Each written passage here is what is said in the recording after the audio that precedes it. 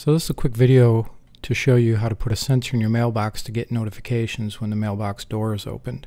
This could be handy for elderly people that don't have the strength to walk out to the mailbox multiple times when they're waiting for an important piece of mail. You can send a notific notification to their phone or you could trigger a light that indicates to them that they do have mail and they can make their way out to the mailbox that one time when they know there's mail there. So let's get started. So in this case, my sensor has two pieces. There's a magnet, which I'm applying to the door portion of the mailbox. And then the sensor portion, uh, you just got to peel off the sticky tape off the back of it. I already predetermined where the sensor needs to be here, but uh, make sure that the magnet portion of the sensor that's on the door is not going to hit the sensor, but close enough to where it triggers the sensor.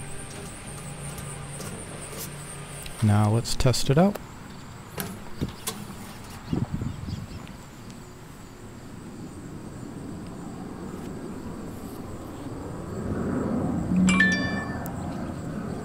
And there you go. So I'll leave uh, links to the sensor that I used here. Uh, it's the same one I used in the doorbell video. If you get a chance, take a look at that video. It's pretty cool.